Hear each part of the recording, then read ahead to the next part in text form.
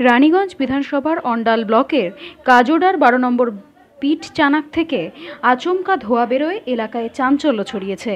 ঘটনার খবর পেয়ে এশিয়াল কর্তৃপক্ষ এবং পুলিশ প্রশাসন ঘটনাস্থলে পৌঁছয়। উল্লেখ্য যে, হরিশপুর এলাকায় এরই মধ্যে বহুবার ভূমিধসের কবলে পড়েছে এবং কবে এলাকা সহজ হবে এবং সব কিছু নিয়ন্ত্রণে আসবে এমন আতঙ্কে বসবাস করছে এখানকার মানুষ।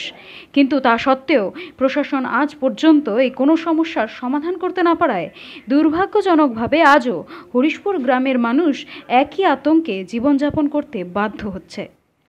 এই আগুনটা বেরিয়েছে কিসের আগুন? এটা একটা কি ইসিএলের কয়লা খাদান ছিল, যেটা বন্ধ ছিল দীর্ঘদিন ধরে। সেইখান থেকে হচ্ছে গ্যাস বেরোতে শুরু করেছে।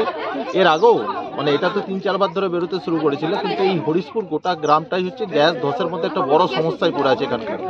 মানে এত অকর্ম ম্যানেজমেন্ট, অকর্ম প্রশাসন আর অকর্ম হচ্ছে সরকার, যাদের কোনো ভূমিকা নেই। এই যে গরিব মানুষগুলো এখানে দাঁড়িয়ে আছে, এই যে গরিব মানুষ, এই যে গ্যাস ধস, মানুষের যে কোনো সময় জীবনহানি হতে পারে।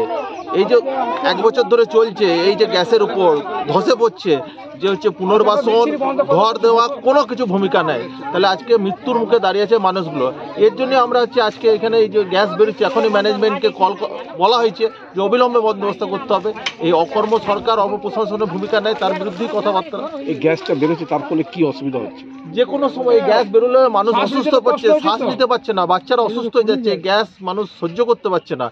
এবং সবচেয়ে বড় ব- রাত্রেবেলায় যে ঘরে থাকবে যে মৃত্যুও না ঘটতে পারে এমন কোনো ব্যাপার না মৃত্যু হয়ে যেতে পারে এমন অবস্থার মধ্যে। চাইছেন মানুষ চাইছে এটার অবিলম্বে যেন হচ্ছে ম্যানেজমেন্ট এসে এটা যেহেতু ইসিএল ম্যানেজমেন্ট এসে এটাকে বন্ধ করে দিয়ে মাটি দিয়ে অত্যন্ত মানুষের থাকার মতন উপযুক্ত একটা বন্দোবস্ত করতে হবে এবং হচ্ছে সরকারের কাছে আমাদের দাবি যে হরিশপুর গ্রামে একটা বড় গ্যাস ধসের সমস্যা আছে এই গ্যাস ধসের সমস্যা নিয়ে যেন হচ্ছে সরকার যেন তাদের পুনর্বাসনের ব্যবস্থা ম্যানেজমেন্টের সাথে পুনর্বাসন কি হচ্ছে গোটা বিষয়টা সেটার ব্যাপারটা তদারকি করা। এই এলাকায় কতজন বসবাস আছে এখানে এই এলাকায় প্রায় পাঁচশো জনের মতন লোক বসবাস করে।